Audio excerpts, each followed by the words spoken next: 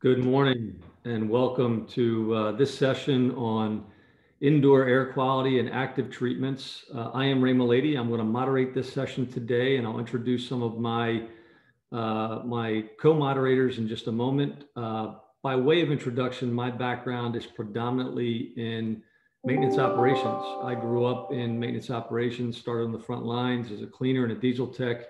And so from a, a, from a perspective of that, a lot of my presentations will come, or a lot of the content today will come from that background.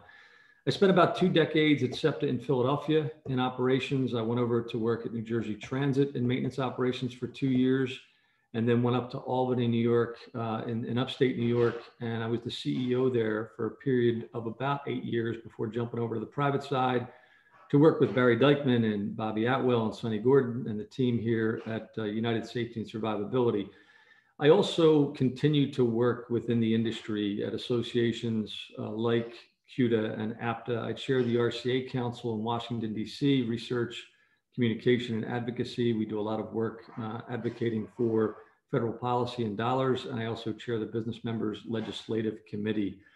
I'm going to turn it over quickly to a couple of my uh, co-hosts. I'm going to start with Patty Kiewiz for a quick introduction and then Paul Strobis. Good morning. I am Patty Kiewiz. I am the transit director here at Green Bay Metro.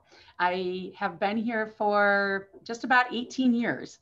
And I think I have held majority of the positions here within the department. So I started down in operations and I was finance manager as well as that's my background and have then went to assistant director and director. So I have been running the department here now and leading it for the last seven years. So welcome and I'm excited to be part of this today. Welcome, Patty. Paul? Uh, good morning, all. My name is Paul Strobis. I'm the Director of Paratransit Operations in Broward County, Florida. Uh, most of you would probably know more the Fort Lauderdale area. Uh, I've been in the paratransit industry for a little over 20 years. Uh, my first 10 were at the MBTA in Boston, Massachusetts. Last 10 have been uh, down here in South Florida. Uh, look forward to uh, the presentation. Thank you. Paul moved south for the sunny weather, so no, no question. And just north of Paul, Ram Laureano. Ram? So my name is uh, Ram uh, Romulo Laureano. Uh, everybody calls me Ram. I'm here with Tony Julian, also uh, one of our VPs of the business and product development. Um, I'm the commercial sales manager. Um, I've been in the company for about eight years, seven to eight years. Um, my background is um, managing operations and sales uh, through uh, my years as a GM and Hertz and Costco Wholesale, and then now in RGF. Um, and I'm uh, here to just try to uh, just tell you a little bit more about RGF, what we do, our products, and I'm looking forward for the presentation. Welcome, Ram. I'm going to share my screen here and get right into the details um, momentarily. So just an overview of the presentation today, and we're going to go through about eight to 10 slides. I'm going to talk about ideas and concepts that can really help us to mitigate um, not only COVID-19, but but just really improve the safety of the interior of our, our vehicles. So when, when I talk about these technologies, I want to talk about a group of technologies, but then I'm going to, I'm going to focus in on technologies that we think are the best fit for a uh, not only a commercial application, but a rolling stock application, be it a rail car, paratransit vehicle, or a, a standard transit bus. I'm going to talk about who we are, United Safety and Survivability. I'm also going to talk about our partners. Ram and Tony are here with us today from RGF, and uh, they have deep experience with this technology on the commercial markets.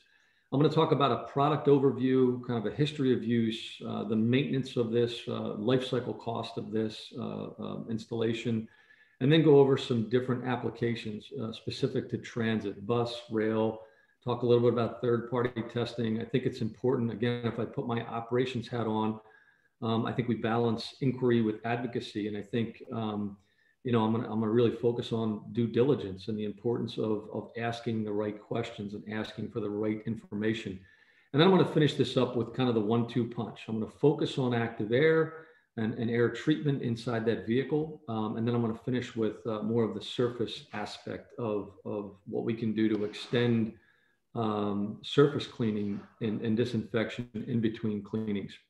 A little bit about who United Safety and Survivability is.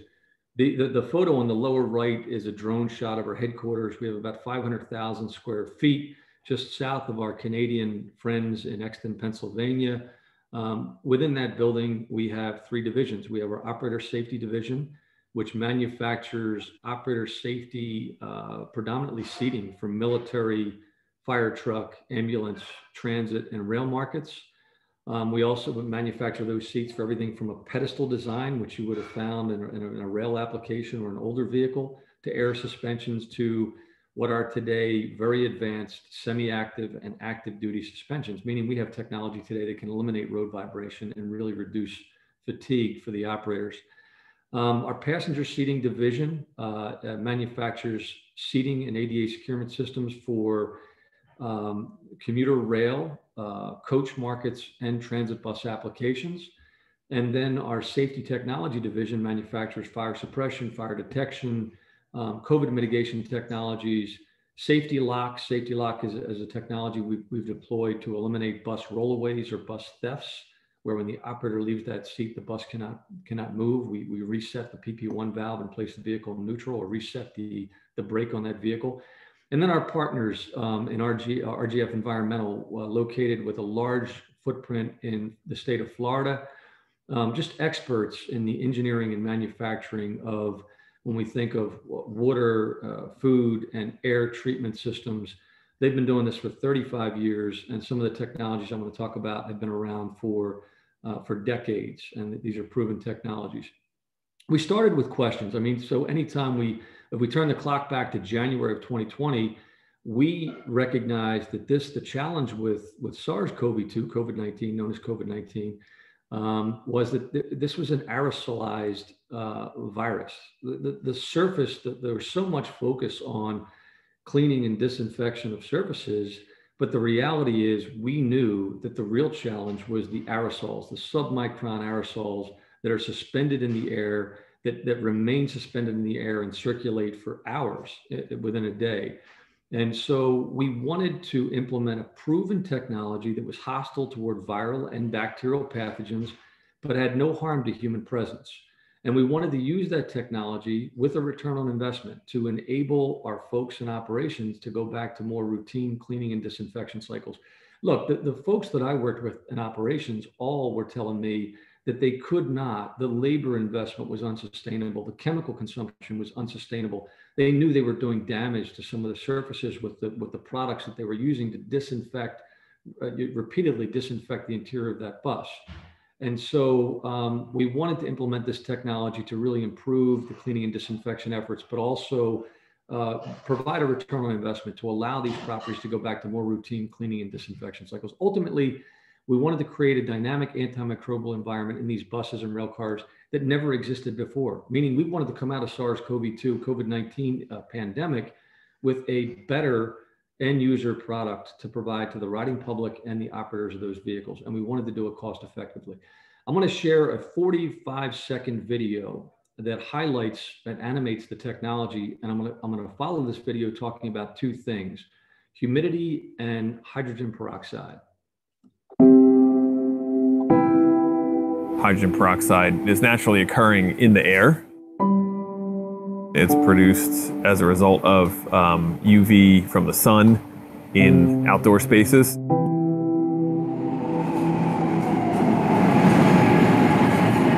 Indoors, the hydrogen peroxides aren't here, they're not being produced. Indoor spaces are much more prone to having viral particles hanging in the air.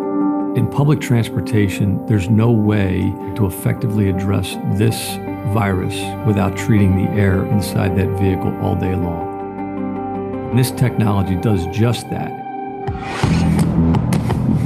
United Safety's Active Air system with UV PHI technology by RGF was found to be extremely effective at lowering the bacterial load in the airspace. These units pass untreated air over the active air purification system and out the other side The water vapor molecules pass over the catalyst They are ionized, create hydrogen peroxide molecules from the water vapor molecules naturally occurring in the air. The UV PHI system would be installed in the HVAC system downstream as close to the occupant space as possible. Once the hydrogen peroxide molecules are created, the HVAC blower will transport those molecules to the entirety of the bus or train. The hydrogen peroxide molecules actively kill any pathogens, viruses, bacteria that might be in the air and surfaces of that vehicle. We can reduce the flu, we can reduce the bacteria, we can improve, you know, the health and safety of the environments where there's a lot of traffic. So with this technology, we have the ability to enhance the safety of the passenger and the operator and bring mobility back to people.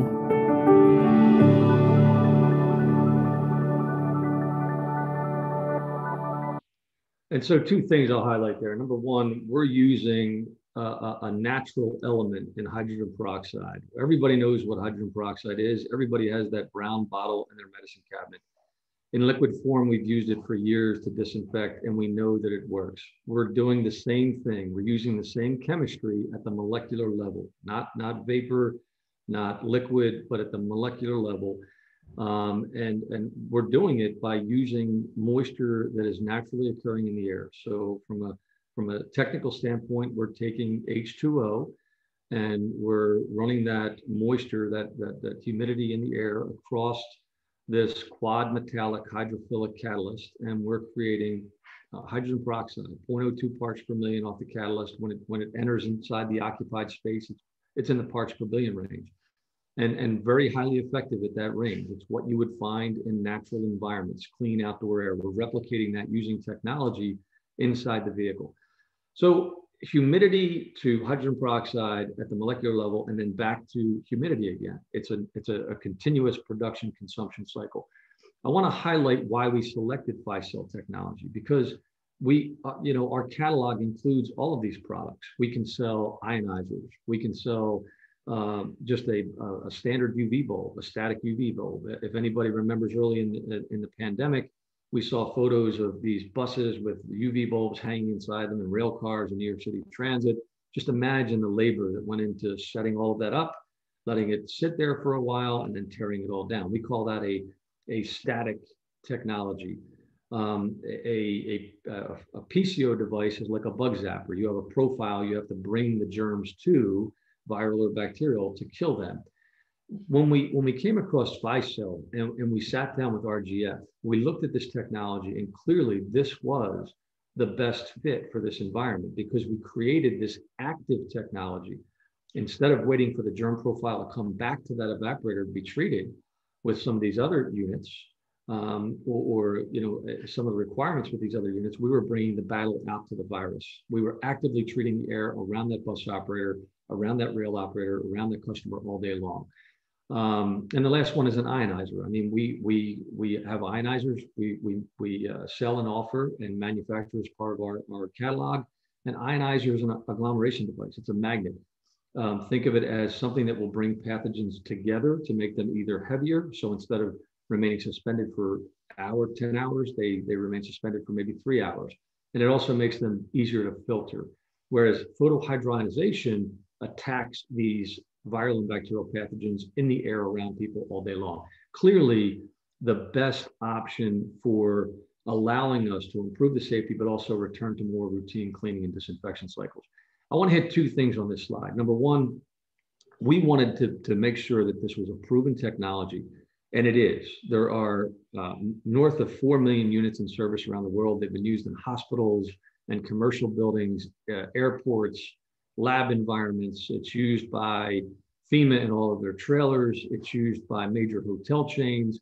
This is not a new product. It's been around, it's been proven, and it's been deployed um, for many, many years in commercial markets. We've simply engineered it and applied it to rolling stock environments.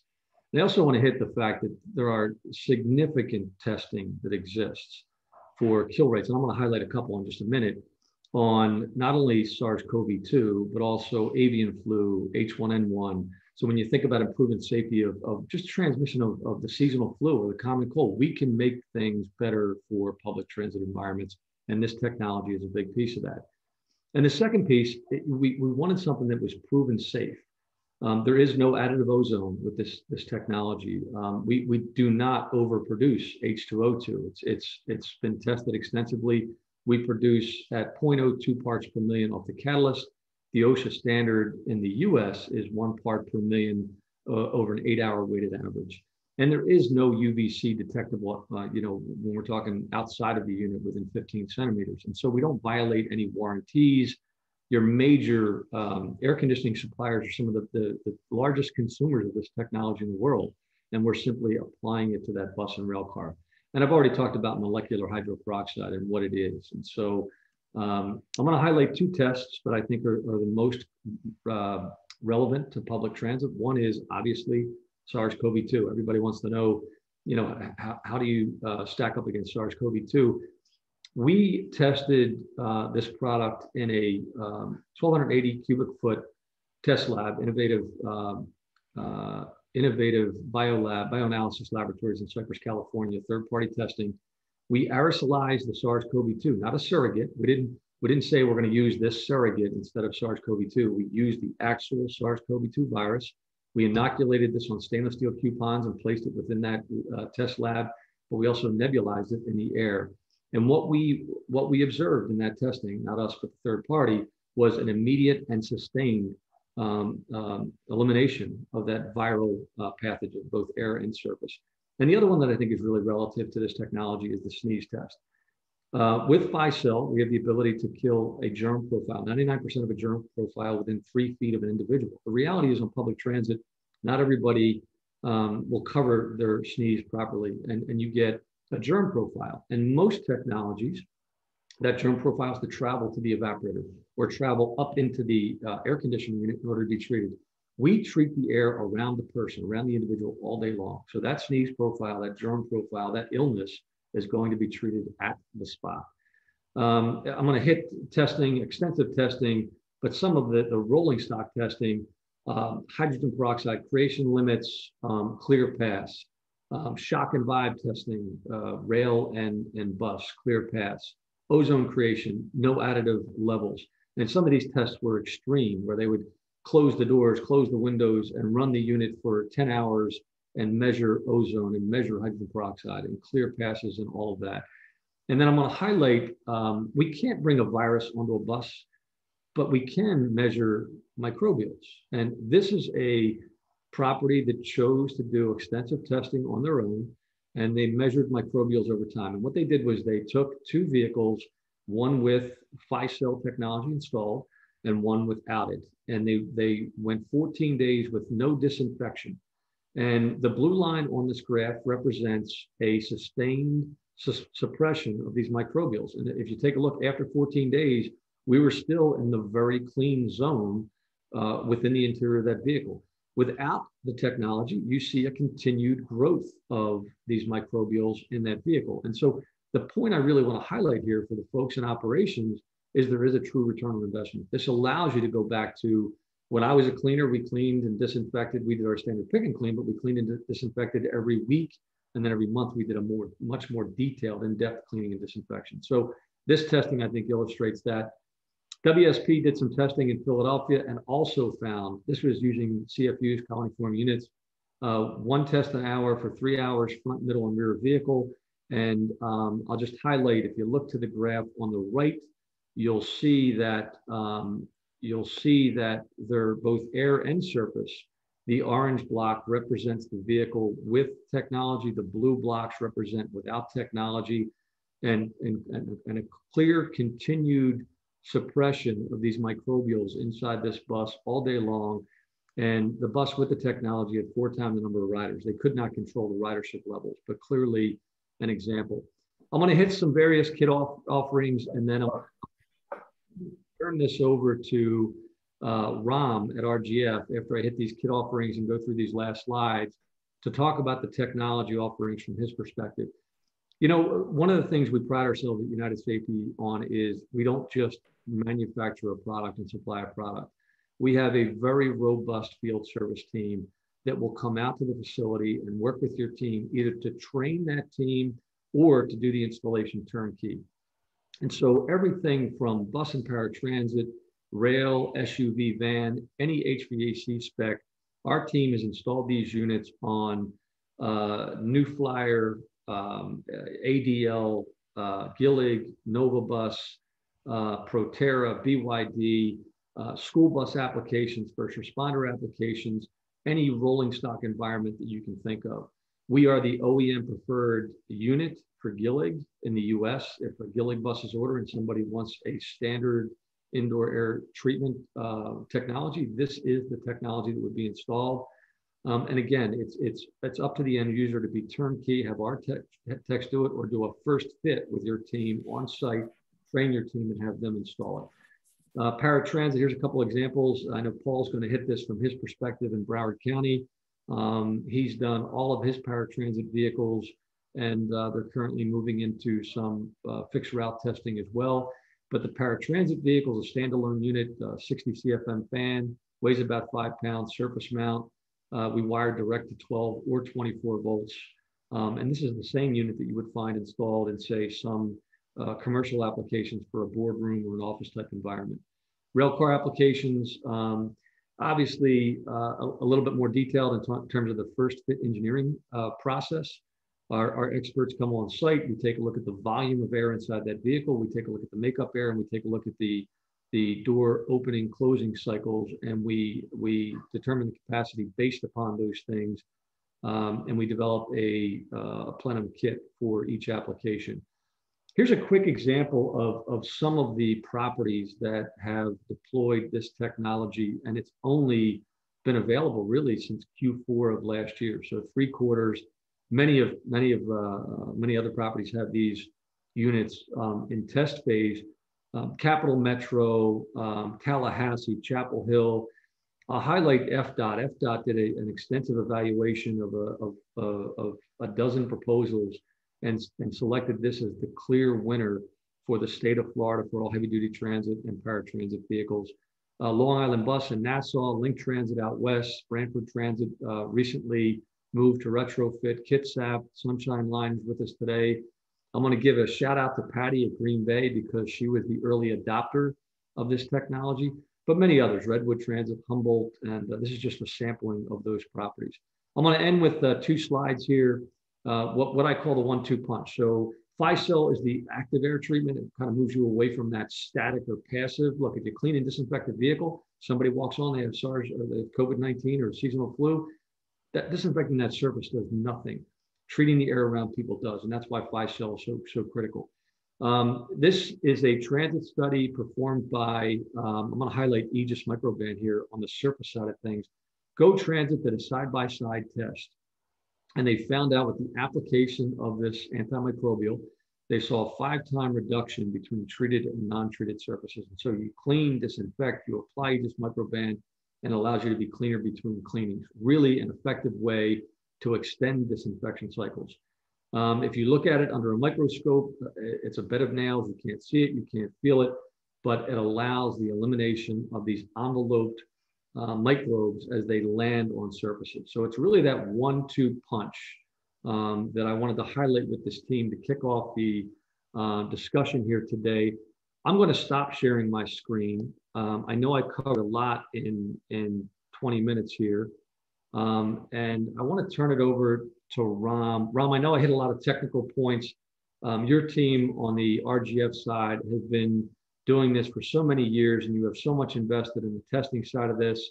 Uh, let me turn it over to you for your perspective in front of the audience here today. Thank you. Uh, yes, like you just said, uh, you did cover a lot and um, make my uh, make my job a lot easier here. So uh, I am going to uh, share my screen here uh, for a second. Let me know if you guys can see it. You're good.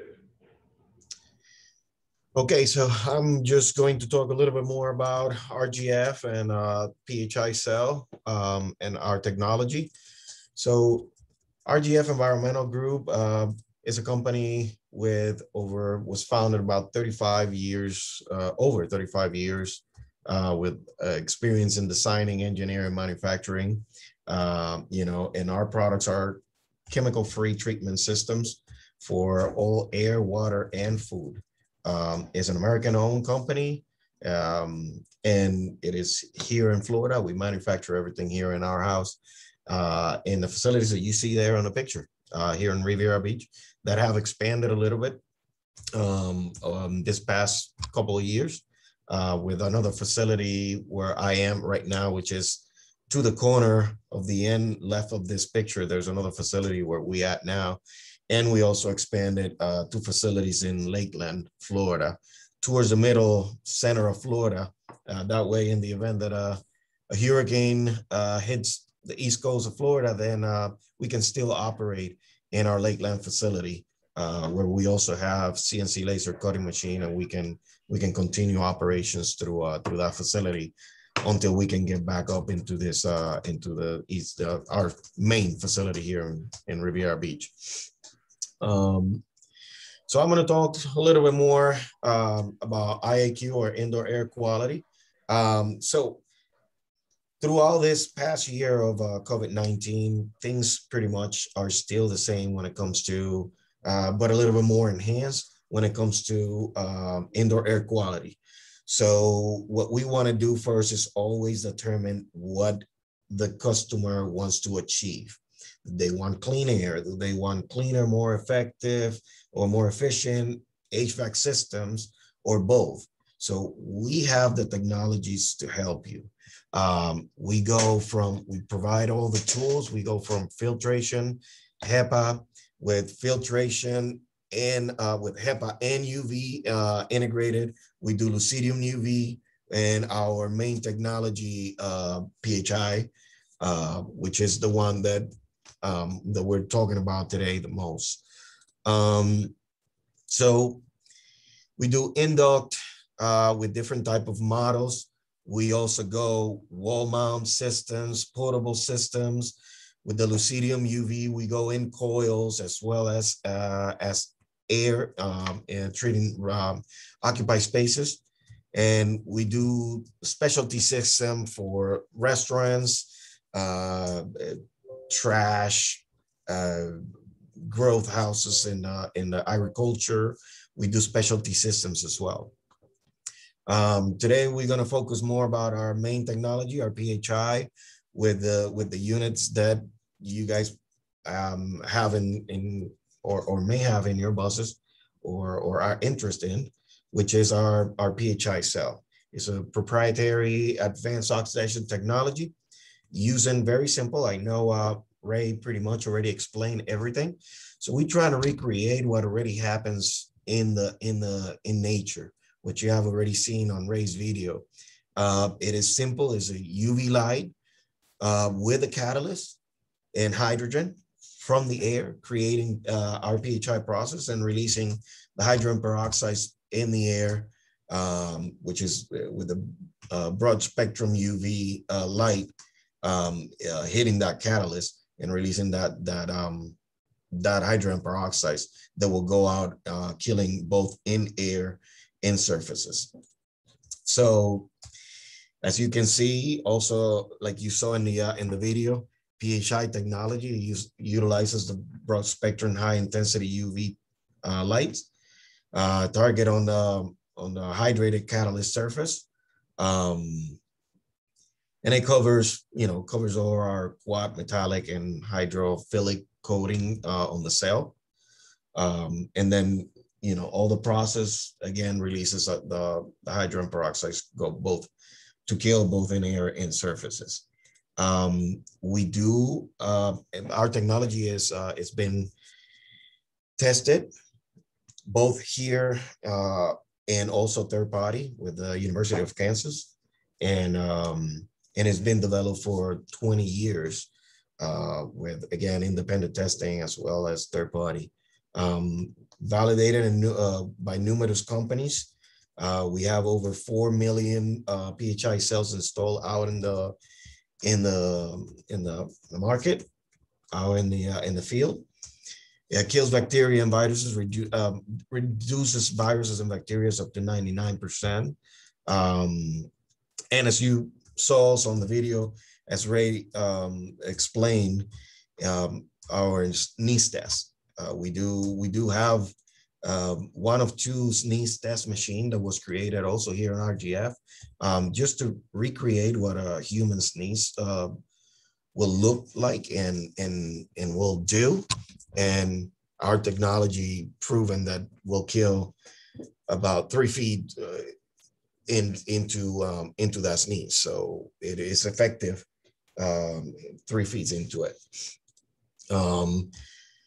RPHI cell validation also has been proven against other type of viruses, H, H1, N1, swine, um, MRSA, um, and numerous other viruses if, that we can actually provide you guys with a, uh, a document that has all the all the viruses that the PHI technology have been tested against.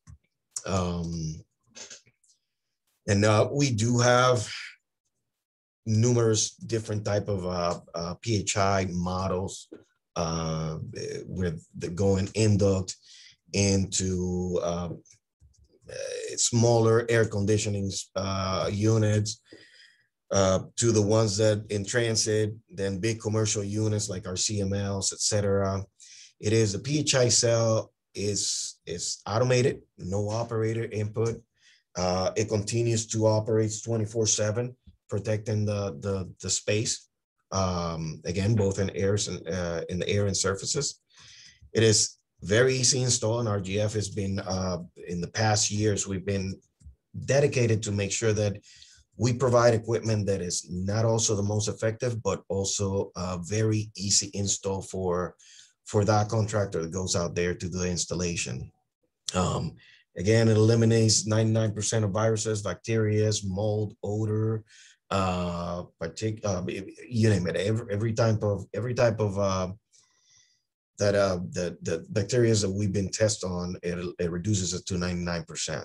Um, so it's a very low maintenance piece of equipment, uh, no filters, but we do have other equipments like the HEPAs that we do offer as well. Um, so it is, it is the cell uh, lasts about, uh, we we recommend to be changed about every two years or so. Um, uh, and yet again, the PHI cell is a, is, a, is a very open, as you can see here, we do have other applications. In this particular one, we're talking about transit, but we do have other other applications in commercial restaurants, hospitals, you name it. The PHI cell is utilized, like we said, over 4 million um, different type of uh, cells uh, in the in the market. So um, go ahead. Oh. So yeah, we do have um, we do have other models in here that we definitely wants to like if anybody is uh, definitely interested we try and rgf is very very well like we i call it the the disney effect so we try to always keep uh, developing new products as you can see in here lucidium uh, lucidium polaris we do have a lot of different products as well as uh, in the commercial HEPAs, filtration, you name it. In our applications, as you can see, we're in hospitality, residential offices, cannabis, medical, airports, uh, hundreds of different type of applications. So like I said before, Ray have done a very good job explaining our technology. He pretty much took about uh, a lot of the things that I wanted to say out there. He already discussed them. So um, I'm pretty much done. Any type of uh, questions that you guys have for me? Uh, very important to know, like Ray said in the video, PHI is an active, an active technology that is a, a, a difference from a passive technology, like we call it the bug zapper, which the uh, the the contaminants have to be in touch with the actual device in order to get a kill ratio or reduces it. And our active technology, uh, like like Ray explained, we it, it, our technology is out there. It goes out there and it, and it reduces all these viruses and bacteria. So those are pretty much the differences between the active and the passive technologies. So thank you. Thank you, Ram. Thank you, Ram. I'm going to actually do the Q&A at the end of the uh, presentation here. I'm going to turn this over to, uh, to Patty. Uh, when you get a chance, Ram, just stop sharing your screen.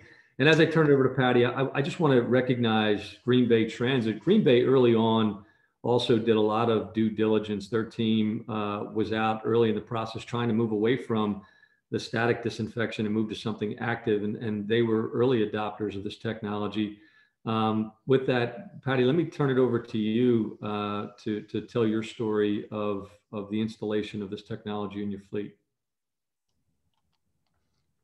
Thank you, Ray. Yeah, so early on, you know, we're a little bit smaller fleet, so we're about 35 buses here. Uh, Pre-COVID, we provided um, approximately 1.3 million trips per year. Obviously, much less uh, given the current situation. Um, but, you know, we were no different than many other systems um, last year.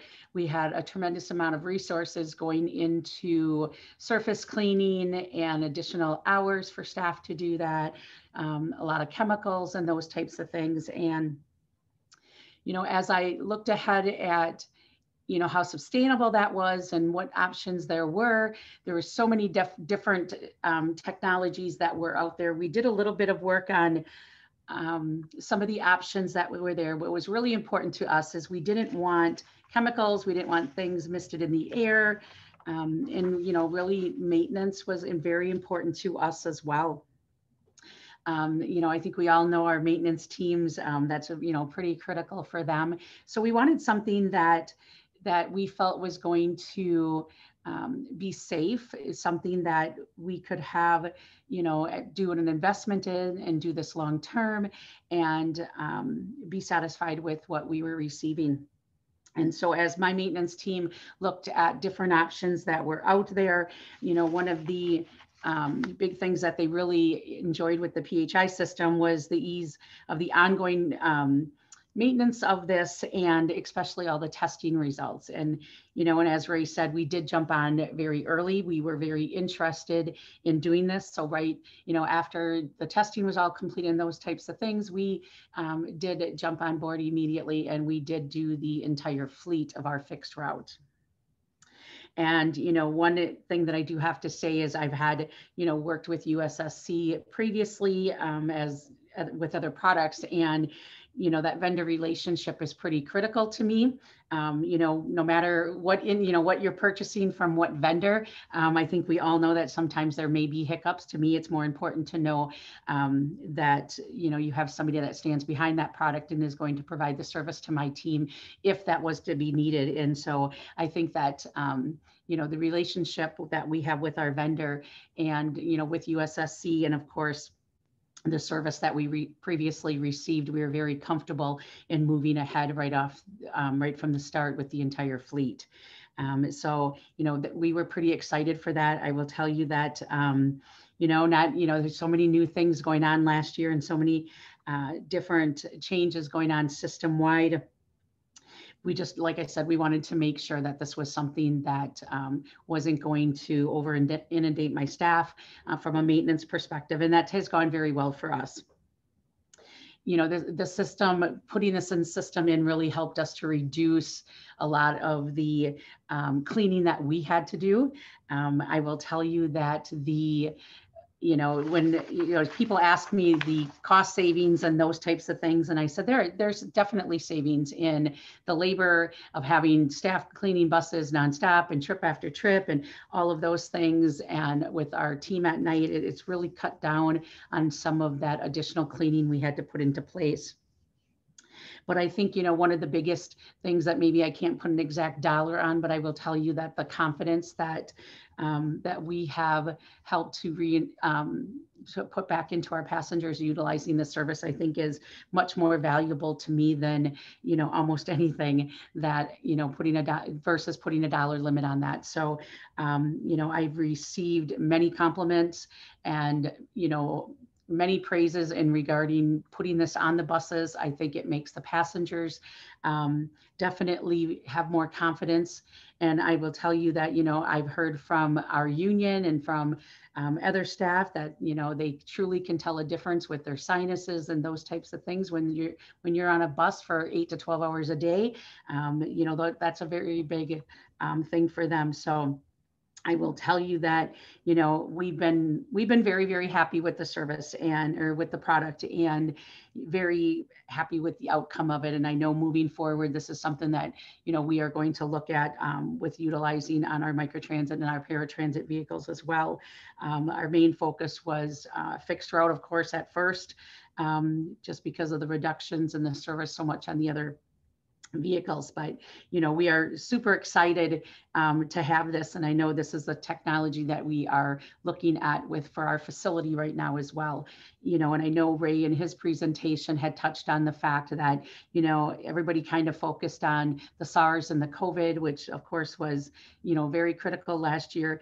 But i really think that you know it working on other viruses and the flu and all of those things we all know that's you know within our vehicles. And to be honest i'm not sure if this is something that from a financial perspective, we would have been able to look at um, pre-COVID. So, you know, as much as that was a challenge last year, it really was a silver lining to for us to be able to um, receive some additional dollars to allow us to do some of these great things that assist in that uh, safety for our passengers as well as our drivers.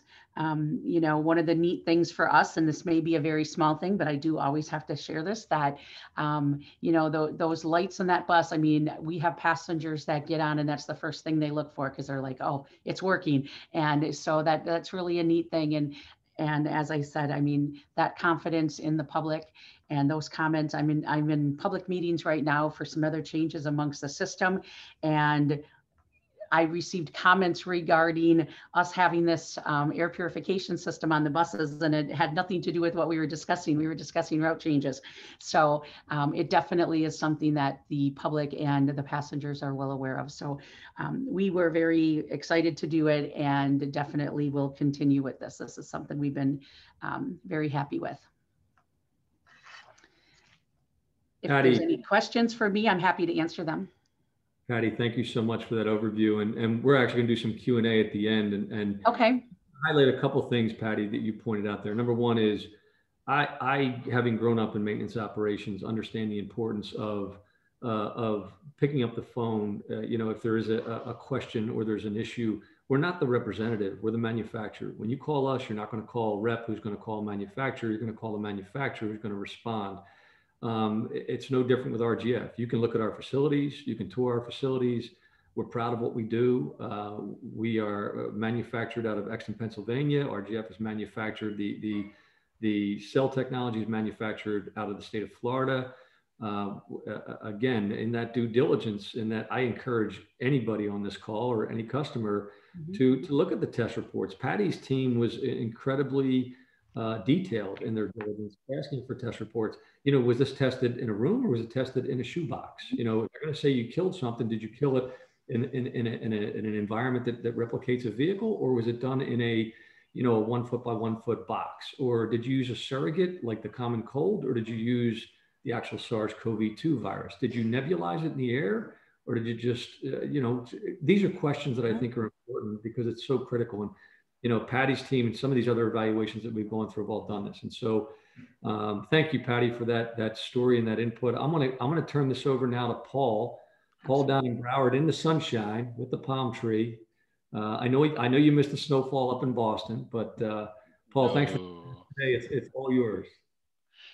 All right. Uh, thank you very much. Um, again, my name is Paul Strobis. I'm the Director of Paratransit Operations down here in Broward County Transit.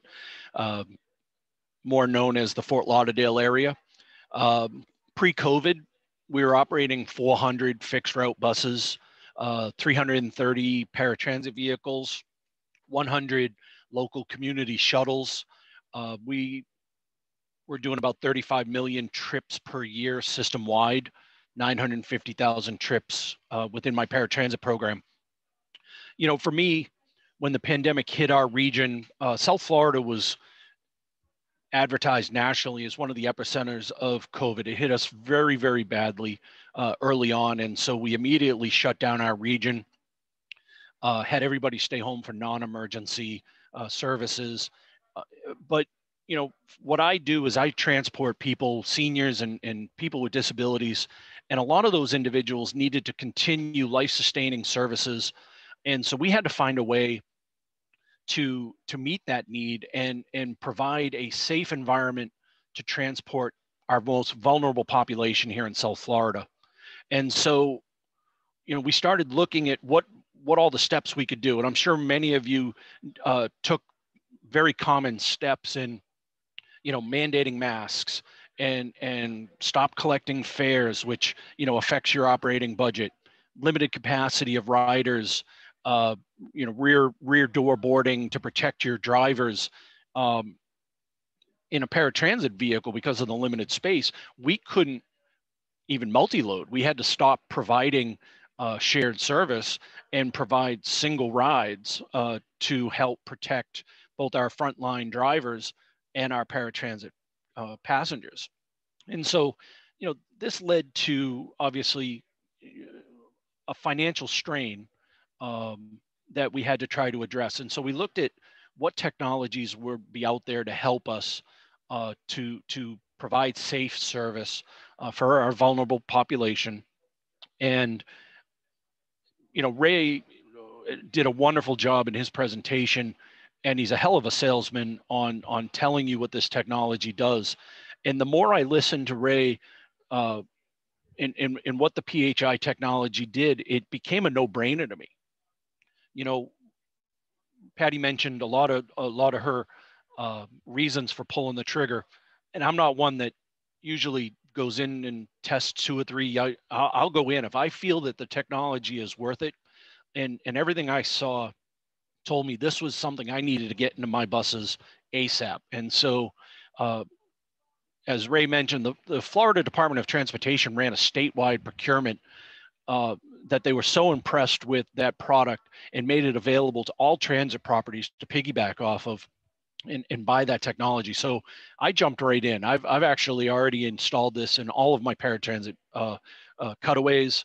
And uh, we went with the, the cap commuter unit that mounts on the wall of the bus and, you know, saturates the air of my, my vehicle. I've got about 750 square feet of of space in my paratransit vehicle. So, you know, this unit, which is rated for about a thousand square feet, uh, made sense for us. We've now been able to tell our customers we lost about 80% of ridership early on in the pandemic. Um, and but as the vaccinations have been able to get out, people are starting to feel more comfortable getting out. Ridership's starting to get back to pre-pandemic. We're about 60% of where we were.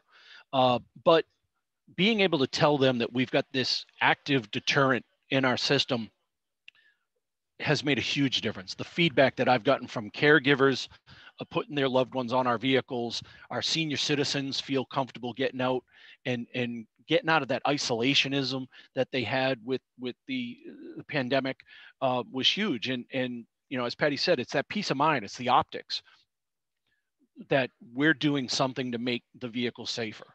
And so for me, it was a no brainer. Um, just on the safety portion, I look at it as a long-term solution. We intend to make this a standard in our in our fleet. I've got 66 buses on order that'll be here uh, early uh, fall. It'll come with this unit installed in it. The the 200 plus uh, that went in two months ago for me uh, was professionally installed by the USSC team. They sent a team down, did the full installation, worked with my technicians to show them how they were wiring it into the vehicle. Uh, the maintenance on it is basically nothing, uh, as I mentioned. So uh, for us, you know, the partnership with USSC has been great. They're calling me all the time. How's it going? You know, my my rep is has been very responsive to any questions that we have. Um, and you know while it's early in in in the process and and again like patty said i've had a couple of people ask me about cost savings. One thing i can tell you is you know when the when the pandemic set off we started looking at what was out there and you know foggers and those heavy chemicals to disinfect the buses every night. It was costing me approximately $1200 a night to have a team of nine guys go in and fog a bus. Then you got to go back after the fog sets and wipe it all down. It was taking about 30 minutes a bus to to disinfect our vehicles.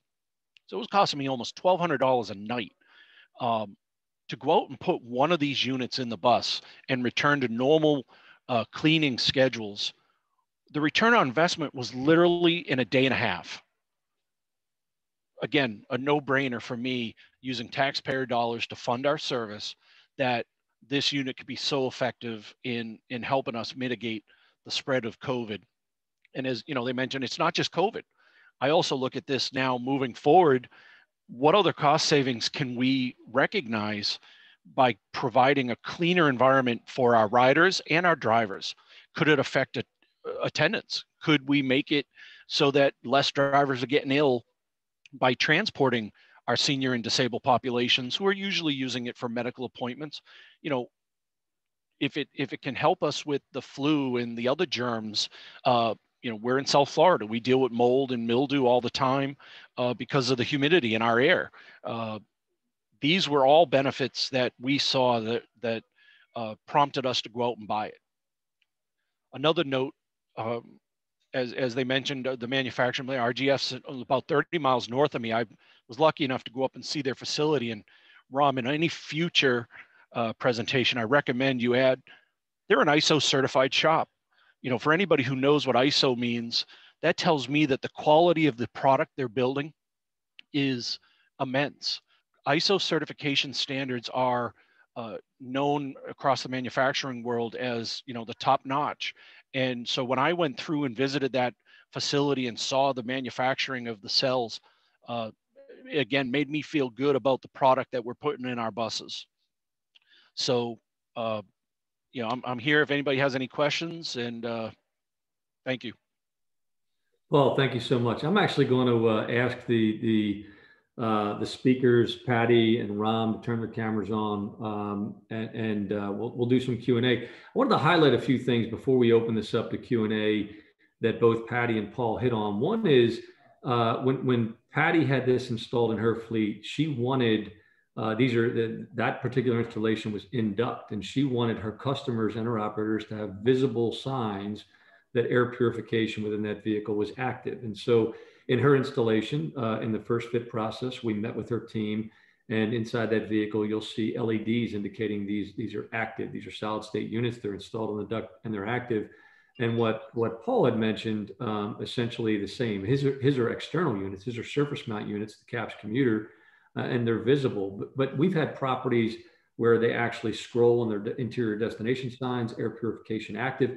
And I think the point is really uh, regaining the confidence of ridership, knowing that there's technology deployed to treat that air around them uh, with, uh, with, with this, with this uh, air treatment, with these molecular hydroperoxides. And so uh, the other thing I highlight, and, and I'm gonna open it up to the group here, uh, Paul, you mentioned ISO certification, both RGF and U United Safety and Survivability, ISO 9001 certified, ISO 14001 certified, EPA registered facility. Uh, we've done extensive testing. We're not just taking a product that was used in a building and putting it in a bus. We've done uh, shock and vibe testing. We've done a, a tremendous number of SAE tests, uh, railway testing. And so we really take, uh, you know, our supply serious of this product and, and appreciate everybody uh, listening in on the content here. I, let me turn it over for any questions from the audience. Uh, hi, Ray. It's Karen with OPTA. Uh, I do have a, a, question here that has, has come in.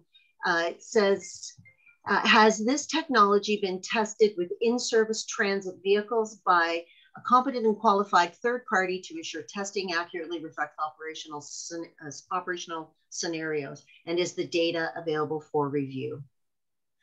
Yeah, I mean, it's been tested by a number of transit systems um, and it's been tested by, by third party. Uh, so I, am going to highlight a few, and some of these properties do testing on their own. So it's uh, we, we have no issue providing that test information. Um, Cap Metro down in Austin used a certified hygienist before making the decision to go this direction. And they were, you know, very, very uh, critical of the different technologies that were available. And they chose this as their primary technology. Um, CDTA up in Albany, uh, I highlighted the, the PhyCell technology, but they didn't test just our technology. They tested multiple technologies and they found, uh, you know, our technology to be the most effective really at sustained suppression. I'd offer uh, this group contact information there Um, and then the, the, the, more in-depth testing was WSP uh, that, that did uh, very in-depth testing, certified hygienist went onto a vehicle and, and measured bacterial counts in the air and on the surfaces while the vehicle was in service. We're not talking about a lab. We're talking about real life people, some masks on, some masks off, some bus crowding, no physical distancing in some cases. Um, and they did very extensive uh, testing. That went back to a lab. They measured colony forming units to, to measure the bacterial counts. And that showed um, clear suppression of these microbials in the air and on the surface uh, over the day. We'd be happy to share any of that information. Thanks, Ray. I don't have any other questions in the chat. Uh, so maybe if folks have it, they can unmute and, and, and ask that way or in the chat.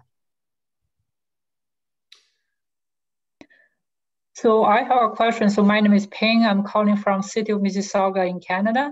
Uh, from what I heard is this new technology will provide air and surface treatment is like preventing COVID and things like that.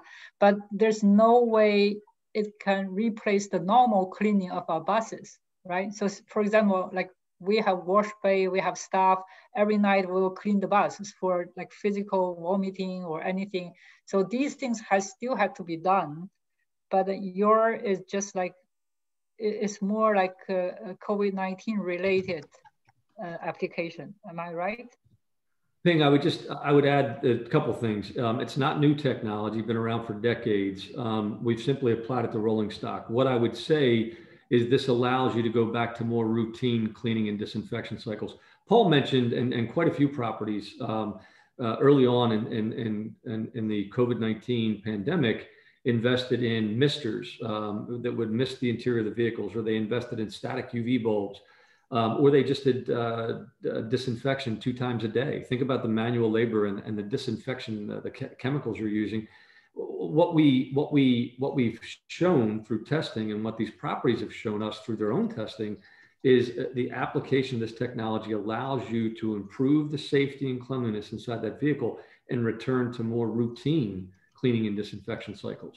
Um, we don't uh, we don't prevent COVID-19, we actively treat it. And I think that was one of the things you mentioned. So we don't, there's no way to prevent it. If somebody has the seasonal flu or they have COVID-19, they walk onto the vehicle, they have that, we simply treat the air envelope around those individuals all day long. So is this uh, technology will replace the, the normal AEGIS spray for the fabric cleaning? Because right now we have annual like AEGIS spray, to, to prevent like the fabric, they will be in good condition to prevent any, you know, disease or food. So this is just a replacement. It's a new, it's a technology rather than the spray. It doesn't replace. Uh, we have properties uh, that that that use Aegis microban, and we have properties that use both. Uh, Spartan Transit, example, down in, in, in, the state of Texas, they wanted a they wanted what they called a sterile bus. It was a sterile bus pro project, and so they installed active air and they also treated their surfaces with Aegis Microban. In my presentation, I highlighted the one-two punch. Um, active air, PhyCell, because hydrogen peroxide is heavier than air, you have a continuous production of hydrogen peroxides. These hydrogen peroxides disperse, saturate the interior of the vehicle, uh, 0.02 parts per million into parts per billion, but you're talking about hundreds of thousands of molecules around people in that vehicle but they're heavier than air. And so they settle, they settle to surfaces. And so they clean both air and surfaces. Aegis Microban allows you to extend um, your, your cleaning, uh, you're, you're keeping your surfaces cleaner in between cleanings. It's an antimicrobial, it's, and, and we consider those two things the one-two punch. They complement one another. So uh, they're, they're both part of our COVID mitigation toolbox, our, our viral mitigation toolbox is the way I would describe it. Ping. Great, thank you. You're welcome.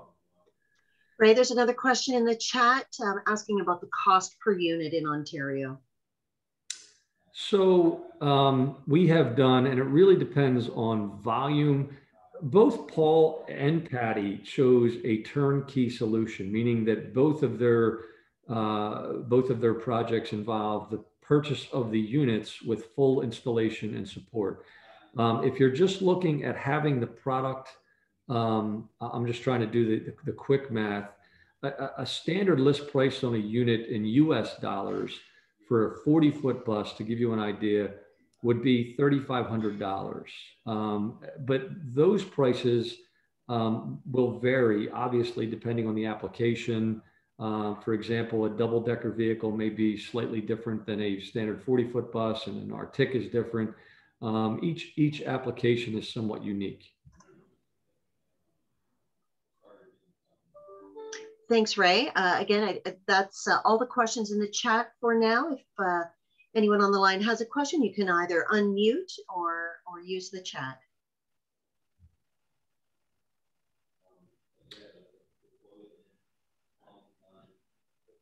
You know, I think one of the things while we're looking for additional questions, uh, I think Paul and Patty both opened up about some of the operational challenges of running a fleet in the middle of, of a pandemic. And I know we have folks on the call here that are in operations.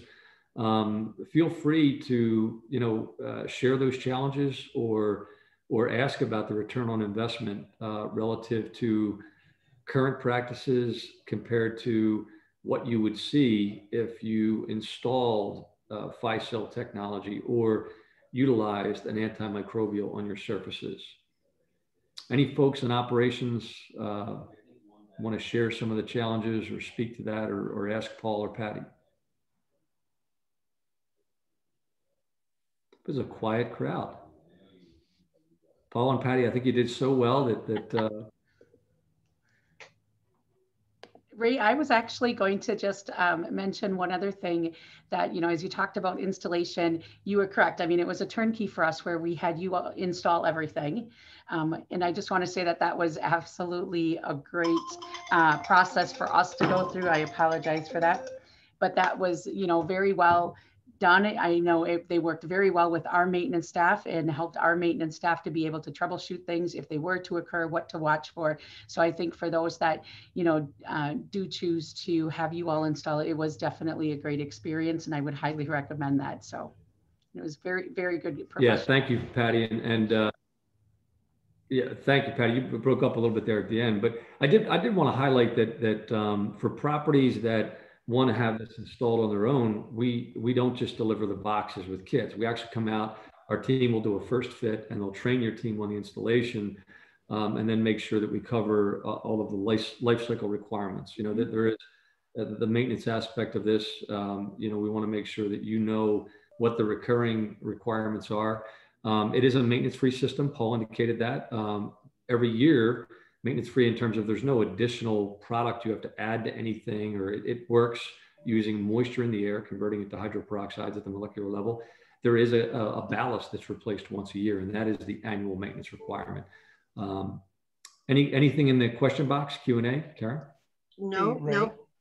Yes. Ray, I'm just kind of curious. This is Joe Reed, City of Belleville. Um, do you have a team that does the install here in Ontario or Canada? Um, you know, rather than sending them from the states, or Yes, sir. Um, so we we uh, have both uh, we have boots on the ground in Canada and in the states, um, and obviously with the the current uh, restrictions, that's important. So when there's uh, we have a, a, number of properties in Canada that are walking through testing and various options, but we do have technical support available in the Canadians Canadian markets as well. Okay, thank you. I'll, I'll just add to that, Joe. It's uh, Barry Dykeman here. Um, I'll just add that uh, we've done outside of transit, we've done recently some installations, uh, school bus side, and uh, in Southern Ontario using uh, some contractors for that as well. So yeah, we're all set. Okay, that's uh, that's great. I'm I'm sure Paul and I all have a discussion, and we'll re reach out. Yeah, we uh, for folks as we're waiting on any questions, and if there are no questions, we'll we'll try to bring this to a close here shortly. I, I would I would say I invite the, the questions, I invite the, the um, inquiries on testing and the, the questions. And, and I think diligence is important. I, I encourage our entire customer base, the industry, to ask the questions because there are a lot of products out there um, and, and asking the right questions can sometimes sift through. Uh, maybe some products aren't manufactured um, in, in the North American market in either Canada or the US maybe some products do not have the same test criteria. Um, when I take a look at RGF and, and Paul, I, I really appreciate you uh, sharing the story of walking through RGF. This, this is not a um, this is not a small operation. They've been around for many, many years. They take what they do very seriously. Um, and, and, asking the right questions and performing that due diligence is helpful to our interests. And uh, we appreciate folks in operations asking those tough questions. And Ray, just just to um, just to clarify it and go in a little bit more about what Paul said, we are always open. There's always an open invitation for those that wanna um, uh, visit the facilities and um, go around. We'll do fa uh, factory tours and explain more about the technology, showing uh, showing the uh, different type of products in here, like Paul saw in uh in our Shark Tank. So we are more than glad to have whoever wants to come in and visit the facilities.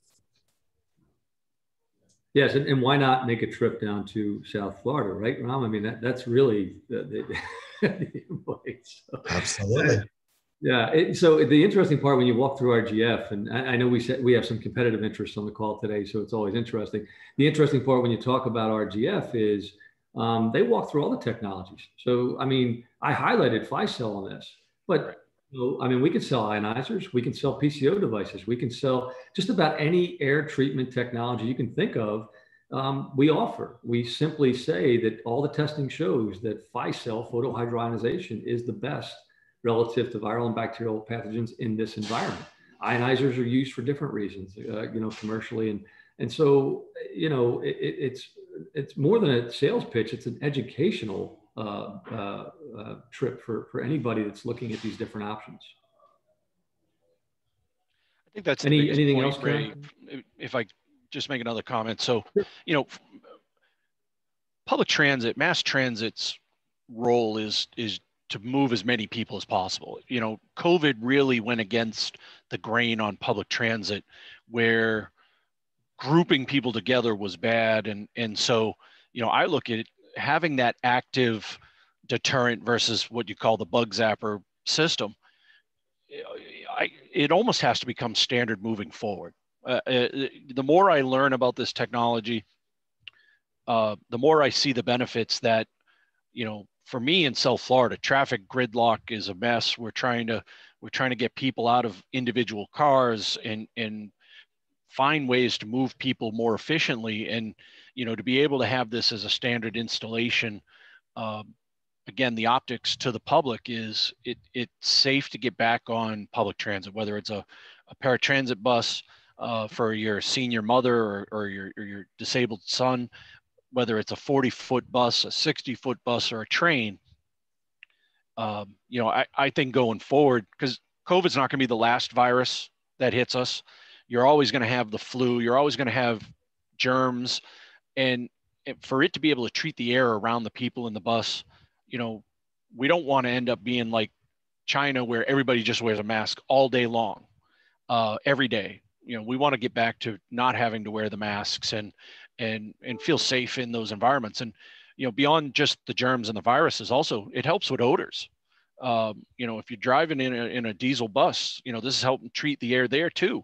Um, so again uh, for me as a as a public transit professional 20 plus years uh, i just can't say enough with my support on this product so paul thank you very much and patty patty mentioned this and, and i think you know, Paul, you highlighted, and I should emphasize it. We talked about SARS-CoV-2.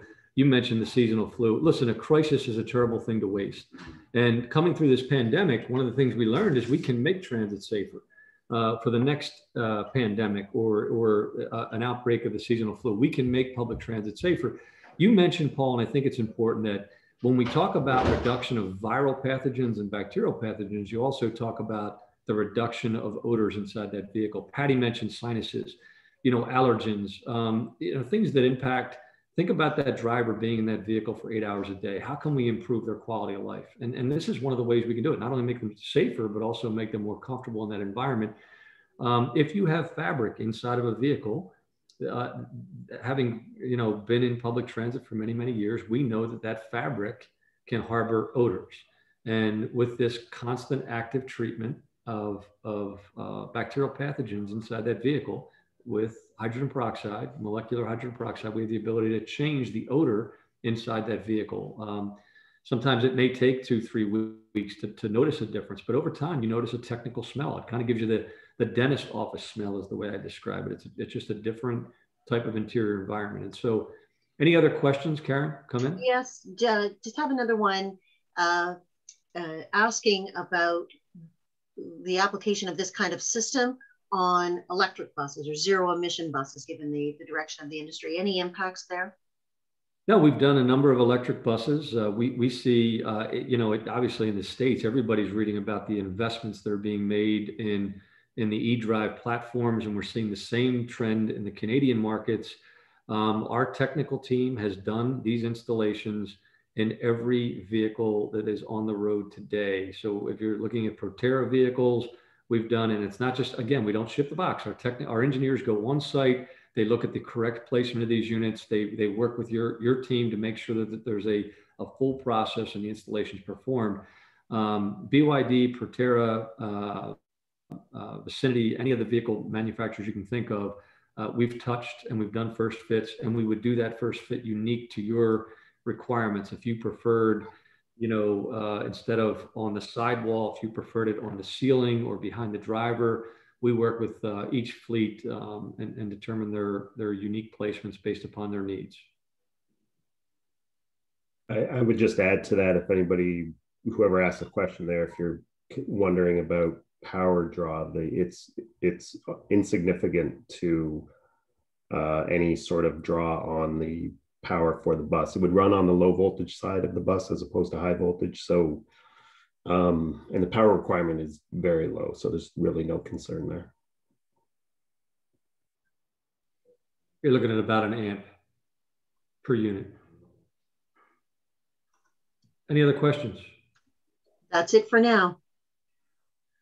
Well, hearing no other questions, I just want to take a moment to thank everybody. I think this is a very timely topic given what we're what, what uh, we're coming out of from a pandemic standpoint really want to express my appreciation to uh, Patty and Paul for sharing their stories. It's one thing for us to talk about what we manufacture and sell and support. It's another thing to hear the stories from the field. And I want to thank Ram for sharing the RGF uh, perspective. We wouldn't be where we are without RGF. Our technical team interviewed a number of different firms and, and looked at a number of different technologies, and RGF was the clear leader, not because not, not only because of what they make, but also because of how seriously they take the testing and validation process. And so um, with that, uh, Karen, I'll, I'll turn it back to you for, for a close here. Yes, thank you. Um, I want to thank Ray and Barry and United Safety and Survivability Corporation for participating in uh, offering this OPTA Live web webinar to uh, OPTA members. Uh, we're very thankful for your time. This presentation has been recorded and everyone that participated today will receive notification when that recording is available on the OPTA website. I'm sure you're, you're going to have staff that you're going to want to, to share that with. So again, thank you uh, to Ray, to Patty, uh, to, to Paul and Ram. Uh, we really appreciate your time. Have a great day, everyone. Thank, Thank you, you as well, Karen. Take care, everybody. Thank you. Bye now. Bye-bye. Bye.